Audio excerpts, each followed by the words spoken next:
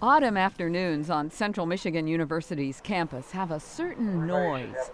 It's a muffled voice on a bullhorn. It's the click of a metronome. It's a band finding their sound.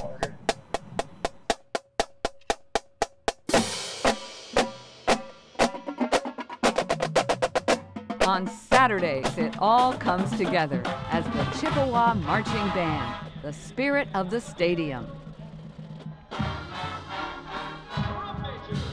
My role as drum major is important because it's all about service, it's all about leadership, and it's the opportunity to you know, lead this incredible marching band that plays such an integral, integral role not only at football games or at performances, but also in our community as well.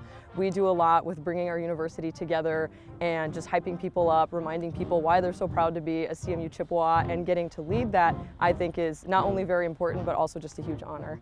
Since the fall of 1923, the band has been the pulse of the stadium, energizing the crowd, supporting their team, and filling the community with their signature sound. This year marks 100 years of the Chippewa Marching Band.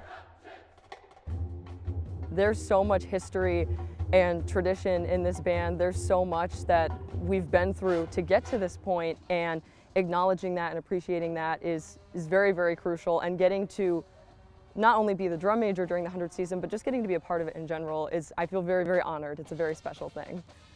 In the 1970s, band member Jim Dietz was inspired by a trip to West Point to start a cheer that has since become a pregame tradition. We do this thing, we take the Chippewa name and pull it apart, turn it inside out, and, and it ends up being back together Chippewa at the end. And, uh, and it caught on immediately. Doing our, our UWA cheer, it's just the most exciting thing ever. Leading up to it is so much fun because you know we get announced and we run on into the end zone and everyone's screaming and we're getting to our spot. Just outside of the block on the field is Dr. Batchelor and I'm just watching him because he gives me that cue to let me know it's go time. And the second he gives me that cue, it's just whoosh and it's, it's time to go.